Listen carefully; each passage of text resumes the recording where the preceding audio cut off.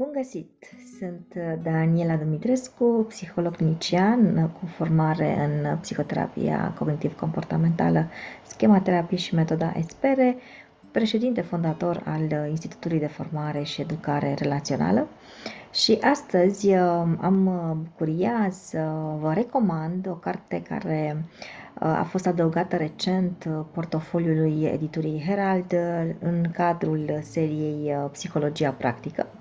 și anume este cartea care vorbește despre fiicele adulte ale mamelor narcisice. Um, este un subiect delicat, este un subiect uh, care poate nu este atât de desabordat, cu atât mai mult cu cât uh, tulburarea narcisică la femei este mai greu sesizabilă. Poate că atunci când uh, ne gândim la un narcisic, ne gândim mai degrabă la un Uh, mascul la un bărbat. E bine, există femei cu tulburare narcisică și chiar și în carte sunt uh, diferențiate două tipuri majore de, de manifestare. O manifestare de tip grandios, acel narcisic care, așa cum spun eu, acoperă totul în jurul lui, uh, narcisicul care nu lasă loc nimănui, care este peste tot, care se încarcă cu publicul care îl ascultă și cu lumina reflectoarelor, dar există um, și un alt tip de narcisic, mult mai subtil, uh, dar cu efecte la fel de nocive asupra celorlalți, uh, și anume narcisicul victimă.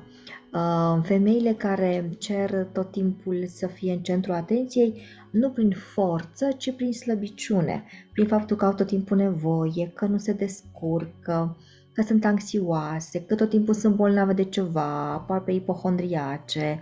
uh, și cumva cer celor din jurul lor, inclusiv copiilor, fiicelor lor, să fie îngrijite. Practic acolo se inversează un raport între copil și adult, copilul devenind părintele părintelui său. Um,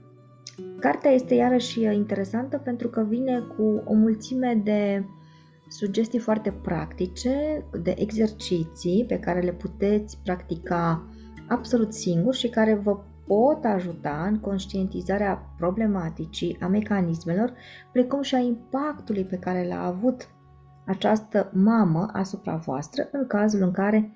identificați uh, trăsăturile tulburării narcisice la mama voastră. Așa că vă invit să lecturați această carte scrisă într-un limbaj facil, um, un limbaj de nespecialitate, uh, care vă poate clarifica, vă poate ajuta să identificați acele resurse din voi care vă pot face să mergeți mai departe, lăsând în spate ideea de rușine, de umilire, de victimă, de persoană care nu este suficient de bună pentru a fi și a merita iubirea. Pe curând!